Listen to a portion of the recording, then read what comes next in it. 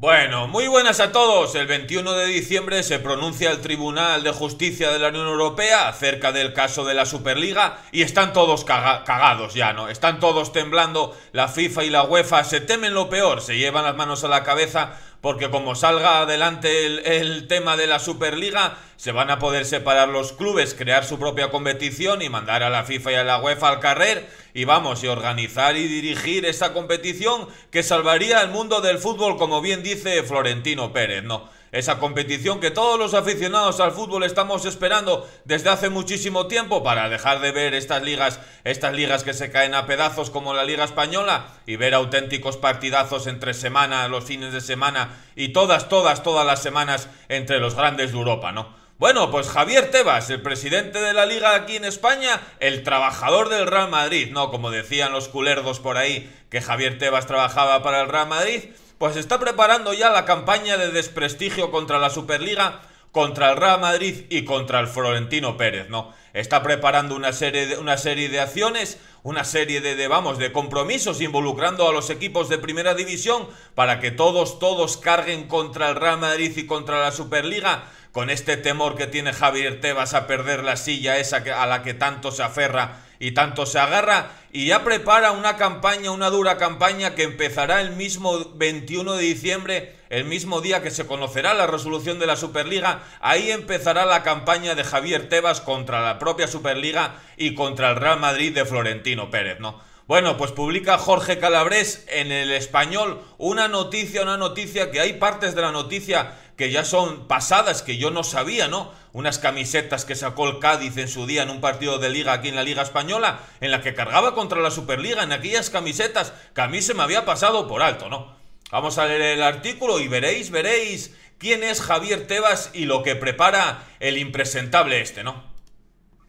Bueno, pues publica el español, como decía, por mediación de Jorge Calabrés, que Tebas hará jugar al Real Madrid el día del fallo de la Superliga y lanzará su campaña en contra. La liga planea varias acciones contra la imagen de la nueva competición a partir del momento en que se haga pública la sentencia.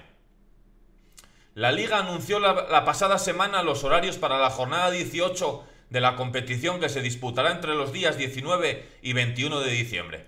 La patronal fijó que fuera el partido del Real Madrid en Vitoria contra el Alavés, el último eh, partido de la jornada junto al Mallorca Osasuna. Alavés y Real Madrid se medirán en Mendizorroza a partir de las nueve y media el 21 de diciembre, el mismo día que se conocerá la sentencia del Tribunal de Justicia de la Unión Europea sobre el caso Superliga y el monopolio de FIFA y UEFA en las competiciones futbolísticas. Esta decisión no ha sido para nada casual, ya que según fuentes internas de la liga, Javier Tebas planea iniciar una dura campaña contra la Superliga una vez se conozca el fallo. El objetivo del presidente de la patronal es realizar varias acciones contra la imagen de la nueva competición y el partido del Real Madrid en Vitoria se ha convertido en uno de los escenarios elegidos. El 21 de diciembre es la fecha más importante en la historia reciente del fútbol, ya que el fallo del Tribunal de Justicia de la Unión Europea puede cambiar el deporte profesional.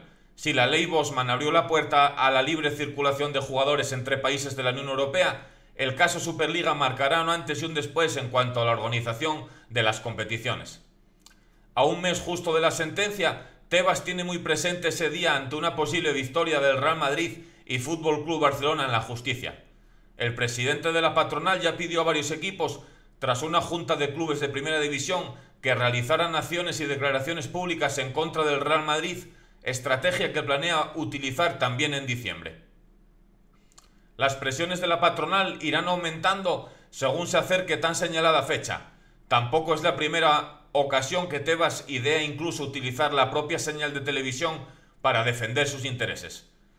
Hace un año ya puso la, la leyenda Una ley del deporte para todos en las retransmisiones de los encuentros. El objetivo del presidente de la liga era presionar al gobierno para que, entre otros asuntos, se vetara la Superliga y se respaldara legalmente el acuerdo con CVC a través de dicha ley. Sin embargo, no lo logró, la echaron para atrás esa ley, ¿no? Ahí vemos a los jugadores del Cádiz con la camiseta de, de, la Superliga, yo esto no lo sabía, la verdad.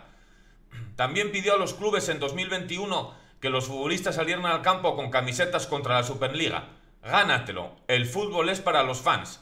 El Cádiz en su partido contra el Real Madrid además del logotipo de la liga, lució una leyenda que ponía Superliga, el fútbol es de todos, ¿no? Dicha campaña en contra de la nueva competición, Tebas quiere continuarla el próximo 21 de diciembre, independientemente de que el Tribunal de Justicia de la Unión Europea pueda legitimar la creación de la Superliga y falle en contra de los intereses de FIFA y UEFA. Tebas quiere utilizar el partido del Real Madrid y la audiencia en ese encuentro para hostigar a la Superliga.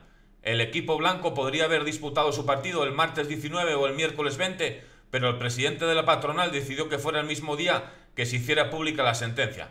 La presión por parte de la liga al resto de los clubes irán creciendo también durante las próximas semanas, ¿no?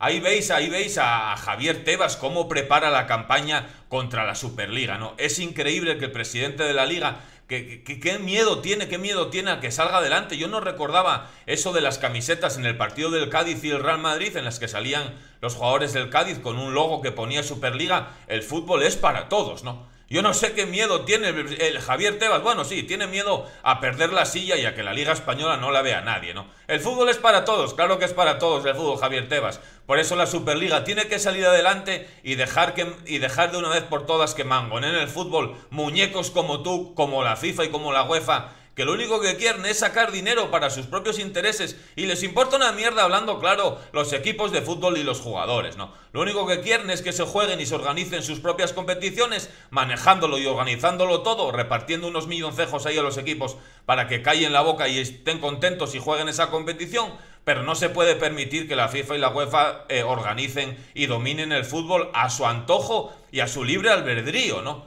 No se puede permitir que estos muñecos que están allí, el, el, el Ceferín, el otro, el de la FIFA, hagan y deshagan lo que quieren ahí, metiendo al presidente del PSG ahí con ellos también, ¿no? Al, al, y a todos estos muñecos, a todos estos sinvergüenzas que tienen una corrupción metida ahí que el día que se destape todo, vamos, temblará el mundo del fútbol como ha pasado con el caso Negreiras, ¿no? Bueno, pues el 21 de diciembre conoceremos finalmente la resolución del tema de la Superliga y ya vemos como Javier Tebas prepara una campaña de desprestigio contra la Superliga involucrando a los otros clubes de primera división, ¿no? Tienen un miedo terrible a que la Superliga salga adelante y, y es lo que el fútbol necesita, como bien ha explicado Florentino Pérez en numerosas ocasiones, ¿no? Pese a que muchos presidentes se han desmarcado de la Superliga, siguen todos aferrados ahí y es lo que desea todo el mundo que salga adelante, ¿no? El aficionado al fútbol lo que quiere básicamente es ver partidos, partidos grandes a lo largo, no solo de, en la Champions, ¿no? Tú ves la Champions y los partidos importantes son tres o cuatro o cinco partidos a lo largo del año, ¿no? Quitando en España el, el Madrid-Barça, que es el partido más grande, luego en la Champions para ver un Real Madrid con un City, con un Bayern, con un PSG, a no ser que te toque en la fase de grupos, necesitas esperar a que lleguen los cuartos o las semifinales, y es uno o dos partidos que ves ahí buenos, interesantes a lo largo del año, ¿no? ¿Os imagináis una Superliga donde todas las semanas hay enfrentamientos entre el City, el Barça, el Bayern, el Paris Saint-Germain, el Real Madrid, todas, todas las semanas y todos los fines de semana enfrentándose entre ellos?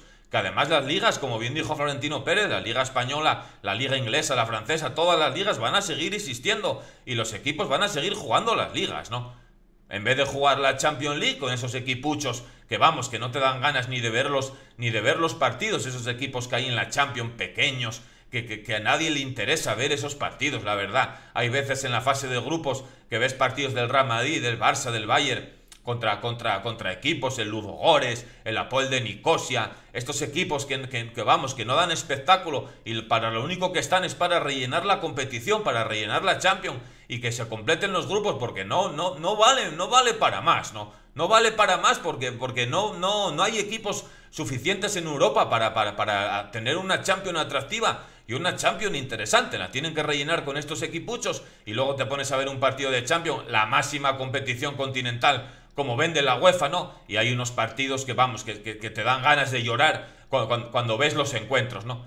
Pues bueno, este es el miedo que tiene Javier Tebas a la creación de la Superliga. Ya veis cómo prepara la estrategia, como bien nos dice Jorge Calabres aquí en el español, la estrategia contra el Real Madrid contra la Superliga y, y, contra todo lo que no sea la Liga Española y CVC, ¿no? Ese acuerdo ilegal que tienen ahí contra todos los clubes y cómo calientan a los clubes de España para que carguen también contra el Real Madrid y saquen camisetas, ¿no? Yo la verdad que esto del partido contra el Cádiz que salieron los jugadores con esas camisetas, yo no me acordaba, la verdad, me, ha dejado, me ha dejado asombrado, ¿no? Era una cosa que, que, se me había pasado por alto y al verlo ahora me, ha llamado, me ha llamado muchísimo la atención, ¿no? Estos equipos tendrán hueco también en la Superliga, estos equipos más modestos, los que se clasifiquen, o, veremos finalmente cómo será, cómo será el formato de la Superliga, ¿no? Será una historia parecida a la de la Champions, me imagino que habrá cabezas de serie, habrá equipos más modestos que se puedan clasificar y entrar en la Superliga y veremos a ver, deseemos, crucemos los dedos para que pueda salir adelante. El 21 de diciembre veremos la decisión final y esperemos que salga adelante y podamos disfrutar los aficionados de, auténticos partidazos todas las semanas, ¿no? Dejadme un pedazo de like si os ha gustado el vídeo, nos vemos en los siguientes, chao.